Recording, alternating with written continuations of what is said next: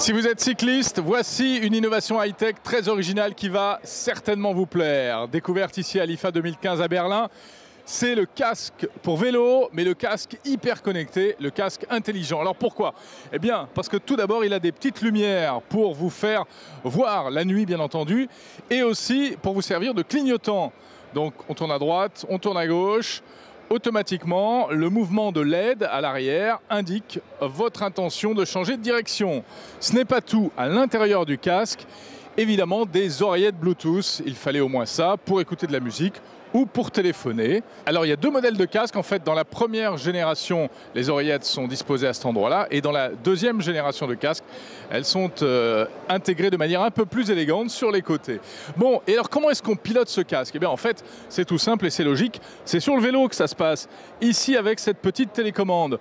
Cette télécommande va vous permettre, bah, comme sur une moto, d'indiquer si vous voulez tourner à droite ou à gauche, tout simplement. Mais ce n'est pas tout, car vous allez pouvoir également piloter votre musique qui viendra du smartphone, intégré lui aussi sur le vélo, puisqu'il y a un support qui est prévu pour cela. Et puis on peut également, à partir de la télécommande, déclencher l'appareil photo pour prendre des photos ou des vidéos de la promenade qu'on est en train de faire. Et enfin, tenez-vous bien, il y a même la fonction Tokiwoki liée à l'application mobile dans le smartphone. Et ça aussi, ça se pilote à partir de la télécommande. Le support de smartphone qui est fabriqué également par cette société chinoise qui s'appelle LiveHall, est un support plutôt malin puisque à l'intérieur, il y a un chargeur. En effet, toutes ces fonctions vont tirer sur la batterie de votre téléphone mobile. Donc pour le recharger, eh bien, il suffit de brancher le téléphone. Il y a une batterie à l'intérieur du cadre du vélo.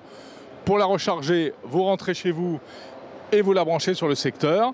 Mais les ingénieurs euh, de cette société nous expliquent qu'un jour, ils espèrent pouvoir intégrer une recharge mécanique, c'est-à-dire qu'en pédalant, évidemment, c'est logique, vous feriez de l'électricité pour recharger l'appareil.